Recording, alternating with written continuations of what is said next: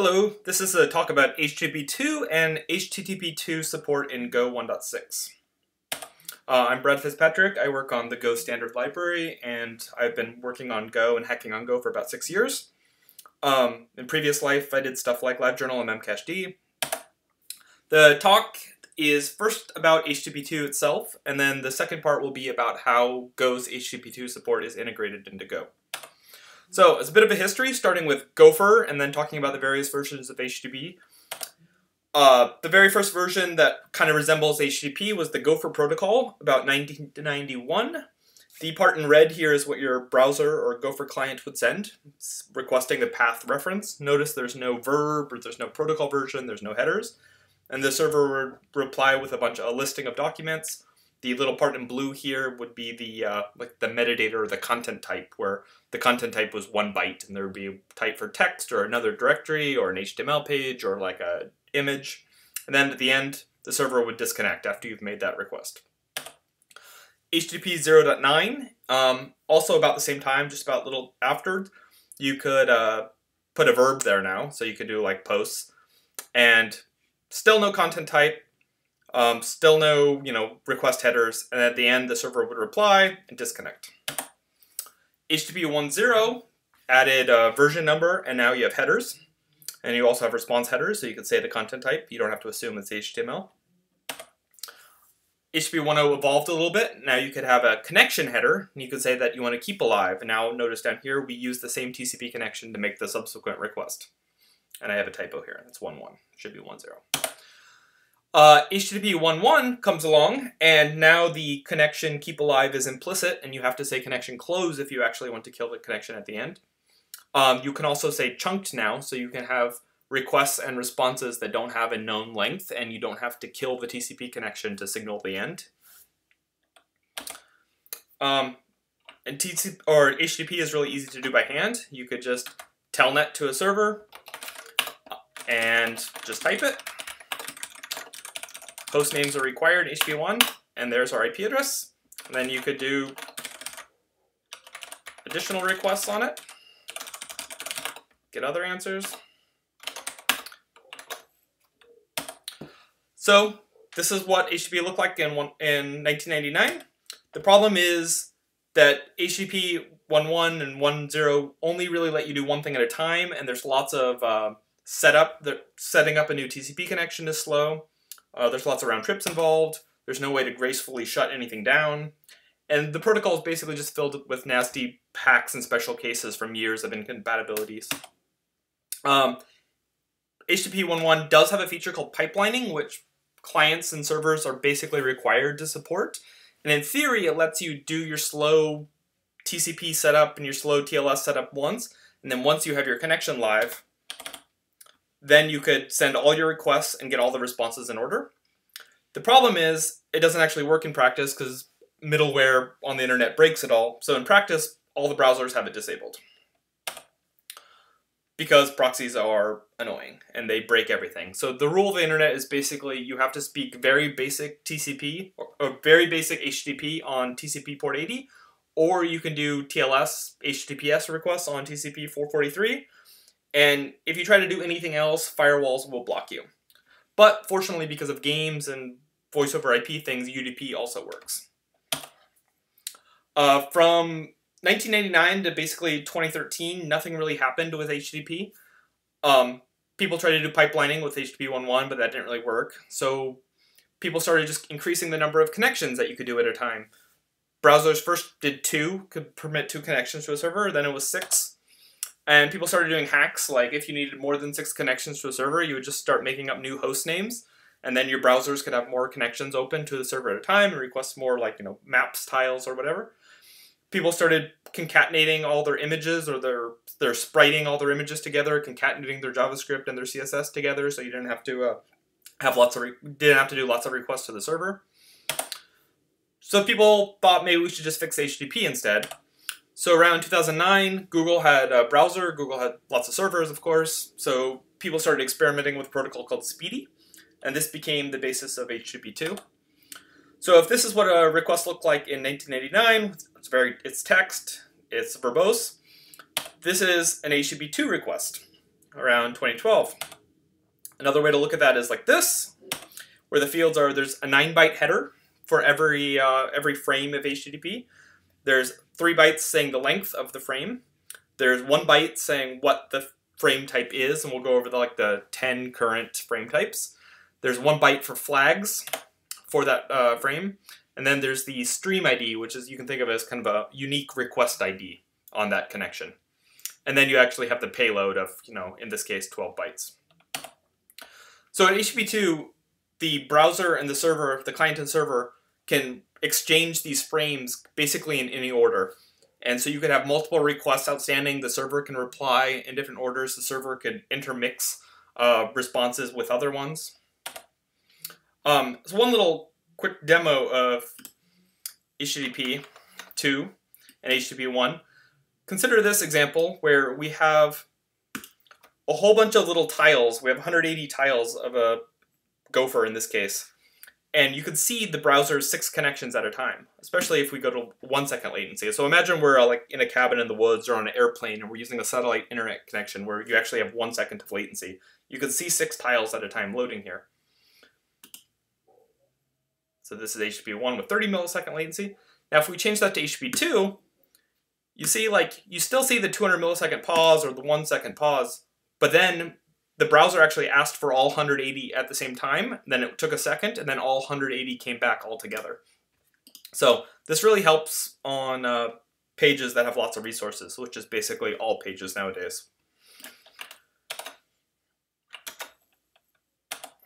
So the different types of frames in HTTP2, there are settings, pings, blah, blah, we'll go through all these. Uh, the setting frame lets the two sides, the client and the server exchange, you know, what their capabilities are. This is how things are upgradable. Uh, ping lets either side say, hey, are you still there? Headers and continuation are two different types of frames, but you can really just think of them as the same type. This is how you send request headers for new requests or you send response headers. Uh, data, this is the request body of a HTTP request or the response body. Go away is how a server does graceful shutdown. So you could do things like have a server tell you that it's shutting down soon, and if you happen to be sending a request from the browser at the same time, the browser would know that, oh, the request I sent is greater than what the server said the last one it will process. So you can know that you can safely retransmit a post. Reset stream is how you kill a killer request without killing the whole TCP connection. For instance, you can, you know, abort a download, but keep all your other requests still going and not close that TCP connection. Window update is how you give the uh, give the peer more flow control tokens. Everything in HTTP2 is flow controlled, so you cannot send data unless you've gotten permission from the other side. Uh, priority, you can also tell the browsers can tell the server the order that it wants requests in, the relative order. Th this part is optional. Push promise is another optional feature. This lets a server send answers to a browser that the browser didn't ask for. So, for instance, the browser could ask for the front page of your site, and the server might know that the you know the might recognize that client, or might have a good reason to believe that that client has an old version of the CSS or the JavaScript or something. And the server can send a hypothetical request and a hypothetical answer, and if the browser wants to use it, it can rather than doing another full round trip. Anyway, back to headers. This was an HTTP request for uh, HTTP2 request for sending headers. These 9 bytes here, or these 12 bytes here, are HPACK compressed headers. HPACK is a new compression format that's built for HTTP2 that basically just encodes key value pairs and a list, a table of key value pairs. Um, the spec defines a static table, which is a bunch of common header names and header values that are you know seen in the wild, and the HPACK compression refers to this table, so you can encode, for instance, you want to say status 400 or 404, you could just say 13 and encode it a variable size uh, integer, make that really small. Um, also, there's a dynamic table that's adjusted as you send requests on that connection. So if I say, you know, authority, this is like the host header, if I say www.example.com, I only have to say that on the first request, and afterwards it gets a small number that you can refer to on subsequent requests. This also works, for instance, on really long user agents or cookie headers. Um, on, on next ones, it's only a few bytes. So yeah, you can see in this case, you actually see www.example.com encoded on the first request, and then on the second request, it's gone. You see instead it's just doing an indexed add, uh, index 62, and that results in authority www.example.com. Also, all the strings that you send, the string literals, can be Huffman encoded optionally. So common bytes, um, for instance here, like the number one only takes five bits of output, whereas if you're sending something really rare, like, you know, less than sign, that's 15 bits, or if you're sending byte 31, that's 28 bits of output. Um, so as you're doing requests, not only are things compressed uh, at the character level, but also they're delta compressed relative to previous requests you've made, so you don't even have to send uh, key value pairs. Uh, the way you upgrade to HTTP2, over HTTPS, at the same time you're doing the cipher suite negotiation and protocol negotiation for, H uh, for TLS, you can also say what protocol you want to speak after the TLS handshake is done. And you send a list of strings where, where the string is the protocol name you want to support. So the client can say, I prefer speaking HTTP2, and then draft 14 of the HTTP2 spec, and then maybe after that HTTP 1.1. Or if you don't agree on the the protocol, the default is falling back to HTTP 1.1. Uh, for HTTP2 or HTTP, uh, normal HTTP without HTTPS, there is technically a way to do it, but nobody really encrypt, or nobody really uh, supports it. So everyone should just use Let's Encrypt probably and get a cert. In conclusion, HTTP1 is a text protocol. You can do one thing at a time. HTTP2 is a binary protocol. You can do many things at a time. But other than that, the semantics are the same. Get, post, cookies, everything works the same. You don't have to change your application. So there's a package, golang.org xnet HTTP2, that implements uh, the HTTP2 protocol. We say that it's a very low-level package and intended to be used by very few people directly. If you actually just want to use HTTP2 as a user, you should just use Go 1.6 and it's all automatic. But if you do want to use the HTTP2 package, there's tons of crap in there that you're welcome to use. Um, I'm going to walk through some of that so you understand this package. Uh, at the base, we'll start at frame type. Frame type is just a uint 8, and we have constants for the 10 types of frames. There's another type called flags. That's just a uint 8, and we have a bunch of the uh, flags from the spec defined. There's a frame header. This represents that 9-byte header that's at the beginning of all HTTP2 frames with the uh, type flags length and the stream ID. There's functions for reading that little 9-byte header from a reader. Then there's a framer type that, given a writer and a reader, returns a framer, and that framer has a method like read frame that returns a frame interface with one of the 10 concrete types, and then a whole bunch of writer methods to write certain frame types. Here's one of the specific concrete types of frames. This is a go away frame. Then there's a HTTP2 server in there that only speaks HTTP2. Uh, that could be a whole talk by itself. And then there's the HTTP2 transport, which only speaks HTTP2. It has the requisite round trip method, so it's an HTTP round tripper, and it can be used with the HTTP2 client, or the HTTP client. So we have two packages. We have the net HTTP package, which is what everyone knows. That's how you make requests, get requests, be a server. And then we have the HTTP2 package, which has all the low-level nasty stuff that you have to use if you're like, for instance, gRPC or somebody who's like doing low-level HTTP2 stuff. Um, but our goal for Go 1.6 was HTTP2 just works. No options, no new API surface. We wanted to be completely transparent. So how are we going to depend on these? How are we going to merge these packages together? One problem is the HTTP2 package already depends on the HTTP package because it has, you know, methods like transport, uh, round trip, which take an HTTP request a concrete type. And the HTTP package, we want to depend on HTTP2 because we want it to be automatic and be uh, linked in. But we can't do this because you can't have a circular dependency. So Alan Donovan wrote a tool called Bundle, and Bundle takes some flags and tell you I want to make this package merging into this package. And so now instead of having two packages, we have one big fat package when we merge HTTP2 into HTTP and we have this file now, h2, h2bundle.go, that's auto-generated with go generate, so you can see this line here. And it's basically all the files in the HTTP2 package merged into one, and it's 5,800 lines of code all the names are mangled, so you can see like the server type from HTTP2 is now called HTTP2 server, and constants like default max streams are now HTTP2 default max streams. So you don't actually modify this file directly. You always hack on the HTTP2 sources and just slurp back into here. As far as tests, tests are in both places, and you have to run uh, the tests from HTTP2, go generate, and then run the tests in the main repo. Uh, so the goal, like I said, was it just works. It's on by default. We document how to turn it off if you really have to, and if you have to turn it off, that's basically a bug, and we tell you to go file a bug. Um, but it should just work by default and on, and you shouldn't have to touch it.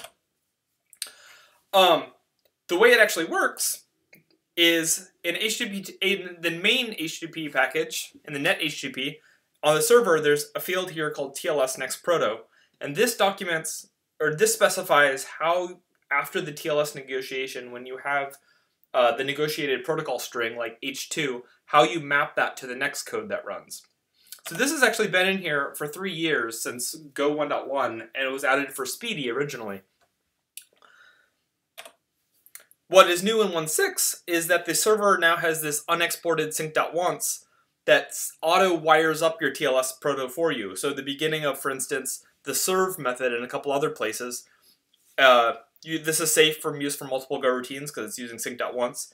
It will call this function once set next proto defaults, and that basically just checks, you know, that you haven't explicitly disabled the HTTP2 server with uh, Go debug. And then if you haven't set your TLS next proto, uh, and it's still nil, then we run HTTP2 configure server for you. HTTP, HTTP2's configure server uh, does things like sees if you have a TLS config. If you don't have a TLS config, makes a one. If you do have a TLS config, verifies that your cipher suites are compliant with the HTTP2 spec. You know, make sure that you have, uh, you know, that cipher suite, for instance. And then this is the meat of it. It registers two map keys for you, one for H2 and one for H214, that says when a new connection comes in and ALPN negotiates that it's going to be H2, then it calls HTTP2 server serve con with the new TLS connection that just came in with that handler and that config from your HTTP 1 options. And that is pretty simple. The transport has something very similar. It has the TLS next proto that maps from the protocol name to a slightly different signature. And we're to that's kind of the end of this talk is how the transport works. Why why are these different? This is the server one and this is the client one. So we want, for the HTTP2 client, we want these to just work. You don't know ahead of time what protocol a site speaks. You just want to be able to say HTTP GET or default client GET or default transport do and do some, hit some URL and speak the right protocol. So which transport should you start with? We have the HTTP1 transport that only speaks HTTP1 and we have the HTTP2 transport which only speaks HTTP2. So you have these two packages conceptually, even if they've been merged into one, they're still two separate packages. Which one is going to call into the other and when? Should the HTTP2 transport start? So maybe the HTTP2 default transport is actually an HTTP2 one, and it checks to see if it has a cached connection, and if so, it calls HTTP2 round trip. If it doesn't have a cached connection, maybe it'll dial one, and then after the ALPN finishes. If it is an ALPN says it's H2 protocol, then it'll call HTTP2 round trip. If it's not, maybe then it will call HTTP 1 round trip, but it already has a connection, and HTTP 1 thinks it has to dial, so what do you do with that connection? Um, do we reuse that connection? Do we kind of like. Do we give that connection back to the HTTP 1 package? But that would involve adding new API, and that was an explicit goal of HTTP 1.6 was to not new, add new API. So we're not going to do that. Instead, we're going to make the HTTP transport start. But it kind of has to be that way anyway, because if you look at the HTTP package, the default transport, even though it's declared as type round tripper, as an interface, we can't really change the underlying concrete type, because there's too much code in the wild that does stuff like this. HTTP2 default transport and does a, a static type assertion that it's HTTP transport. And this would basically violate our Go1 API promise that we're changing the underlying type. So we really want to do something like, is there a cached HTTP1 connection? Use it. If not, dial. And if we get the ALPN string, then we'll check the transport next proto. But we also have to deal with connection caching, and we want to make sure that if we do like four HTTP gets in a row, that only keeps one connection, only ever makes one, and reuses one, and not four. So instead of just checking the H1 connection cache and using it, we also want to check the H2 connection cache and use that. Otherwise, we want to dial. But how are we going to make the HTTP1 transport check the HTTP2's transport cache? So as a little aside and as part of the answer about how we're going to fix this, there is a feature in Go since the very beginning that lets you access FTP or Gopher or whatever URLs with the HTTP package as long as you've registered them ahead of time with the register protocol method on transport. And this never allowed you to register the HTTPS scheme before. It always panicked until Go 1.6. So we've both permitted now this to be HTTPS, and we've added this bit that the round tripper can return this magic Sentinel air type, err skip alt protocol, that if you return that, it acts as if the protocol were never registered and handles HTTPS normally. So putting it all together, what we want to build is this. We call HTTP1's transport, and we see, is there an HTTP2 connection to this host already, to this authority? And if so, use it. Otherwise, do we have an HTTP1 connection cached? If we do, we'll just use it. If we don't have either cached, we make a new TCP connection, do the TLS handshake, and if we don't know what it is, we'll assume it's HTTP1.1 and we'll just speak HTTP1. If we do get the H2 string from the ALPN protocol, then we'll give this connection to the HTTP2 package and let it use it. So the way this ends up looking like in code, in the HTTP package, we have transports round trip, does the same thing as the server with a embedded sync.once, which ends up ultimately calling HTTP2 configure transport. HTTP2 configure transport, its job is to make the provided HTTP1 transport automatically wired up with HTTP2. The way it does this is it makes a HTTP2 client pool. It then makes a new HTTP2 transport specifying the client pool, but it modifies the client pool into one that does not ever dial, so it never initiates its own uh, outbound TCP connections. And then it keeps a reference to the HTTP1 transport, and it uses this as its own configuration, so you don't have to configure both transports. Then it registers the HTTPS protocol, and it gives it a round tripper that is a modified version of the HTTP2 round tripper, the HTTP2 transport, that will never dial itself. The no dialing HTTP2 round tripper basically just calls the HTTP2 round tripper, but if that one doesn't have a cached connection, and remember we gave it a no dial client con pool, so if it doesn't have one, it will immediately fail with error no cached con. We convert that error into the magic value that the HTTP package wants, which is error skip alt protocol, which tells it to just keep going on and do whatever you would do as if this HTTPS protocol were never registered. Then the rest of configured transport does things like if you don't have a TLS config, we make one for you. And then if you don't already have the H2 protocol added, we prepend it to your list. And if you don't have the HTTP 1.1 protocol, we also add that because some sites, if you do any ALPN at all, they require you to say that you also know how to speak HTTP 1.1. And then we initialize this map. Remember the TLS Next Proto one maps for the transport and maps from the protocol name you want, like H2, to a function that takes the authority, which is like the host part of the URL, the new connection that you just made, and it returns a round tripper to use for that. So the bottom of HTTP2 configure transport makes that map, and it says for H2, the func that will run was canonicalize that authority, the host header, and then add it, add this connection that we just made to the connection pool, which we're closing over. We have a reference from the top of the function. And if we have an error adding that connection, we'll close that connection and we'll return a round tripper that just returns that error if we don't need that connection because maybe we already have one in our pool, remember we only need one HTTP2 connection, we close that one. And then regardless, we return a reference to our HTTP2 transport, and the main net HTTP package will then use T2. And now T2 will work because we've now donated this connection to it with addcon if needed. So in the HTTP package, this is how the round tripper works.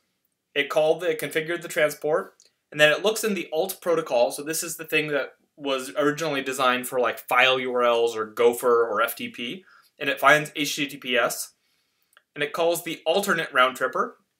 And this one, if it was not err skip alt protocol, um, it will just return it. If it was alt, if it was skip protocol, it'll just proceed down here, and now it has to dial. So there's a connect method for request either finds a cached connection or makes a new one. If it found a an existing one, it goes through this path here, HTTP1. But if it did have to end up doing a, a, TL, a new connection and a new TLS setup, it would end up running the function here that returns a new T2, and T2 gets put into this alt field, and then it calls persistent connection alternate round tripper, and it calls that. And that's about it. What we've built for the HTTP transport is that a connection comes in, checks that the HTTP2 connection is cached. The way it does that is via register alt proto on HTTPS, and tries the no dial round tripper. If that fails, it goes down to err skip alt proto. That calls get connect method for request. We either have a cached connection, which we do a HTTP1 round trip. If we don't have a cached connection, dial TCP and does the ALPN handshake. If we recognize the ALPN string as H2, then we add the connection if needed, and we ultimately call no dial round tripper, and that one will now succeed. Otherwise, if we don't recognize the ALPN string, we default to the HTTP 1.1 round tripper. So that's the path we wanted to build. Cool, thank you.